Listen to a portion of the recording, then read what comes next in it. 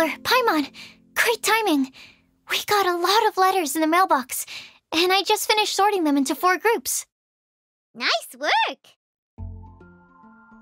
So, what are the answers to the four riddles then?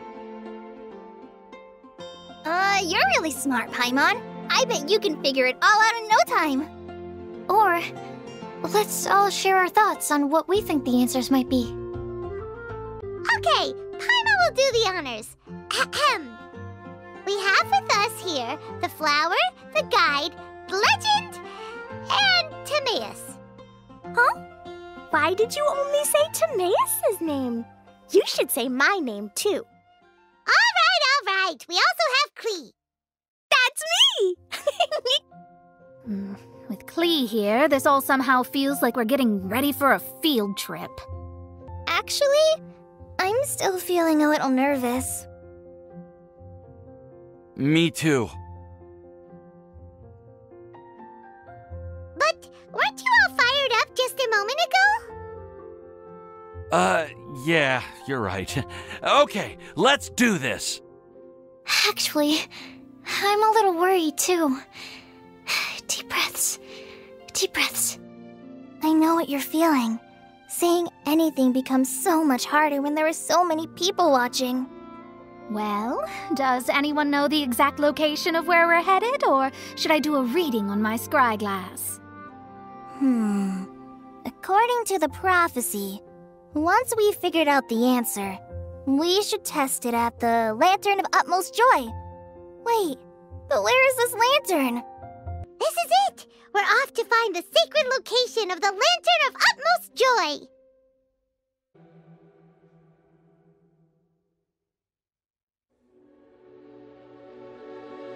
Aw, I don't see any lanterns here. Hmm. Now that I think about it, the prophecy didn't say anything about what the Lantern of Utmost Joy actually looks like, right? Maybe we've overlooked something? Reading too! Uh, huh? It says to look up. Place the squirrel on the back of the pointy-eared cat, and a pious puppy will open the doors to show you the way. Huh. Paimon read the whole thing out loud, but nothing's happening. Look! Look! The wind is blowing! What a strong wind current. Let's ride it up and see where it leads us. Huh? W- We'll have to fly up there? Uh, can someone carry me with them? Here.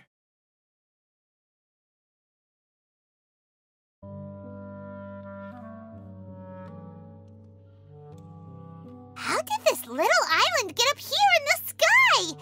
Did somebody make it? Just to be safe, I've been jotting down our entire route here. This way, no one will get lost. Oh, good thinking, Collei! Huh. Who would have thought we'd find this kind of table here? Weird. It's almost as if someone was holding a tea party. I never would have guessed that such a place could exist. Right above Mondstadt, too. Wow, look at that pretty lantern on the table. There's even a chair for each side of the lantern, too. There seems to be something on the back of this chair. Let me have a closer look. Take your seat, present your answers, and you shall reach enlightenment. Well, as far as instructions go, I guess that's simple enough. So we just need to do as it says, right? Wait a second. Huh? What is it, Albedo? We'd better make sure this place is safe before taking our seats. Everyone, please stay clear for a moment. How is everything, Albedo? Hmm. Everything seems to be fine. I didn't find any traps or suspicious mechanisms. While Albedo was checking just now, I gave my scryglass a spin hoping to find some information. But there's a strange aura to this place. It's almost as if someone has been staring at me as soon as we stepped foot in here. But if nothing here has actually been physically tampered with, then no. Could that person be? Hmm. Come on, join us, Mona. Oh, all right. Okay, then I'll answer the first question. If someone were to ask me to find a flower that is not of this world, You can do it, Sucrose. then I would fetch a tetragenic sweet flower. All right, I'm up next. My part of the prophecy is to find a guide who will never get lost. Collei, I hope you found your answer.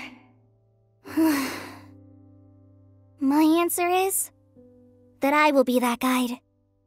For a long time, I have been guided by others. It's taken me a while, but I finally made it to where I am today. All right, it's up to me to answer the third part. I, I I'll submit myself as one who would never lie. Although I've never really had any other virtues or talents, I'm confident that I've always been an honest person. And last but not least, I will answer the final part of the prophecy. There's no tale more befitting the title of a legend that never ends than our fates as human beings. Wait, the lantern just lit up! Whoa! All four sides of the lantern are glowing!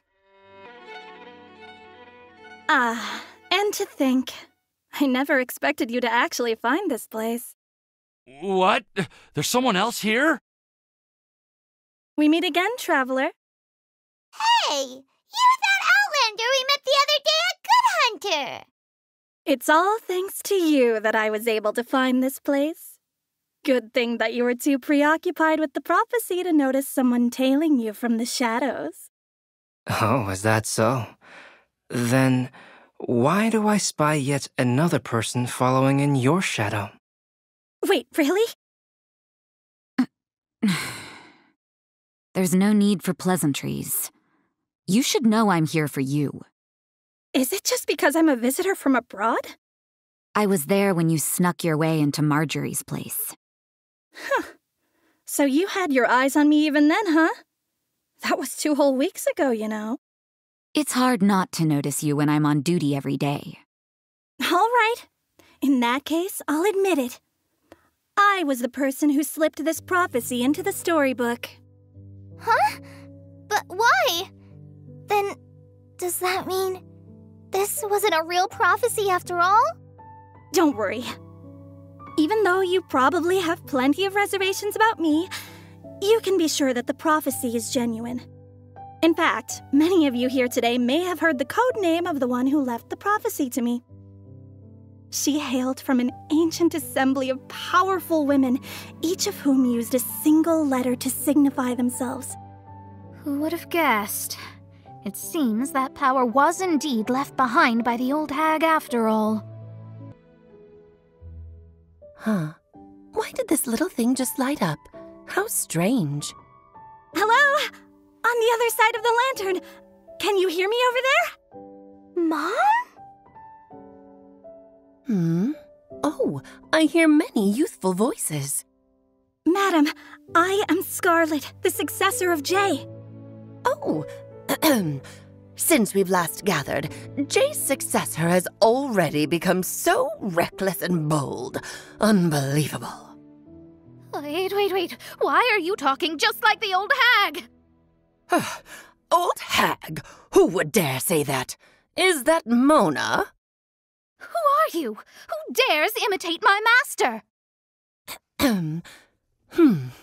And what of imitation and mimicry?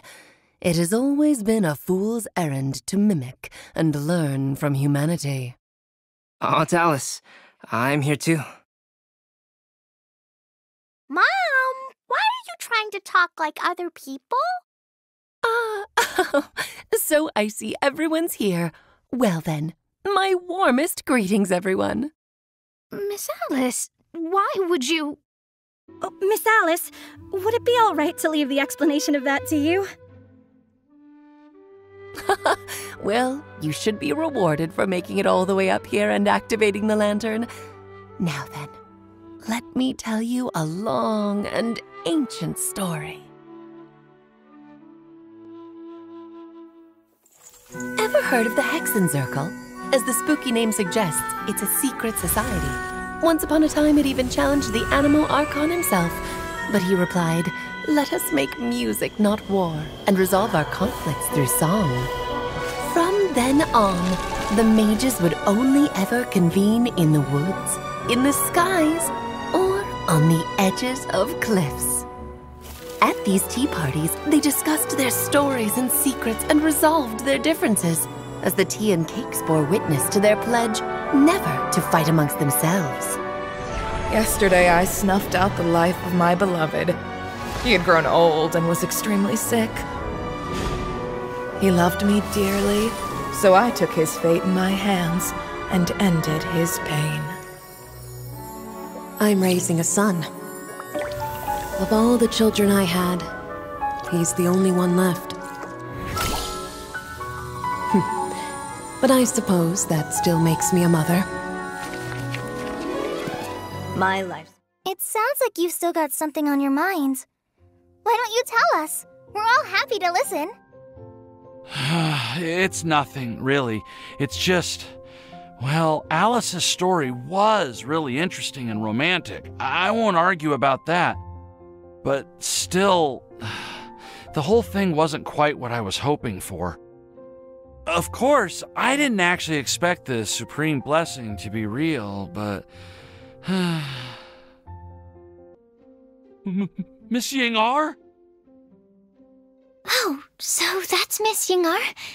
I've never met her before. Yep, that's her, and she actually came all the way to Mondstadt. I I am so sorry, Miss Yingar, but but how did you? I mean. Are you so happy just to see me? I, uh, of course I am. I'm so happy that uh, I don't, uh. Sorry, I, I don't know what to say. I was ready to give you a harsh scolding, but now that I've seen you like this, I suppose I could let you off the hook this time. You said you couldn't come to pick me up because of a very important matter, right? Well then, of course I had to come and find you instead. I am so glad to see Timaeus find his happiness. I have to say, I'm even more envious of you, Sucrose. You can be happy just to see others happy, and you gave me so much help without any expectations in return. Even though you said that we're very much alike, I still feel like you have a much bigger heart than I do. But if you say that, then I'd say I'm also nowhere near as brave or tenacious as you. I guess we have the same amount of positive qualities. They're just spread over different parts of our personalities. I've never visited Sumeru, or made many friends from outside of Mondstadt. I'm happy just to have met and become your friend. Collei, please take these notes with you. I've heard that you've been working hard on your studies, so I've prepared some study materials for you at Sucrose's request. Feel free to look through them whenever you can find the time. Mondstadt's doors will always remain open to you. Uh, thank you so much. Really, I... I don't know what to say. I... I'm just really happy. Oh, it looks like you found a new pen pal. Master Tighnari! Cyno! If your friendship was forged in a test tube, does that make you test friends forever? That's it. I think you've ruined Sumeru's reputation in Mondstadt beyond all hope of repair. All that matters is that I've enjoyed Mondstadt immensely. The dragon here possesses a majestic form. W wait! I've got something to give you, too. Huh? Collei has a gift for us? Yeah! I figured I should follow local Mondstadt customs and prepared a few small things themed after the Windblume Festival. I made these bookmarks from Sumeru roses at the hotel. I want to give them to Amber, Master Tighnari, and Cyno. During Windblume, Mondstadters offer flowers to the people most important to them. You three are family to me. But Tighnari said that we're not anything like an academic family. He wouldn't write joint papers with us. Well, in this case, we can consider ourselves as regular siblings. And that should be just fine. I agree. Oh, and here are some Padisarah seeds as well. These are for the Traveler, Paimon, and everyone else from Mondstadt. Mm-hmm, one of them. Both Padisarahs and Sumeru roses are my Windblumes. Although they're not native to Mondstadt, they are the flowers that can best express my feelings. I want to give them to the people I feel thankful for. To those who I wish to accompany as we greet more seasons and future Windblumes together. The real blessing in life is when you are surrounded by people who you'd miss day and night, and who you'd want to see even if that meant crossing mountains and oceans to do so. I'm so happy to hear you say that.